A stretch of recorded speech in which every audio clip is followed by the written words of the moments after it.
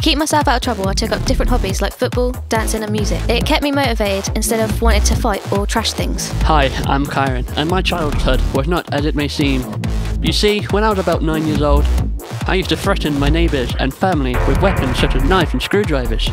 When I started at the age of 12, I started breaking doors and punching holes in windows. I still did this until I moved to Southampton at the age of 15. For three years now, I have been to the military preparation college where I learned discipline and started calming down. I now am with Prince's Trust, and they have helped me into courses. In the future, I hope to remend my ways and get some better qualification and hope to be a game designer. But to do this, I need to behave, stay out of trouble, and push to my limits. My motto is, I can do it if I put my back into it.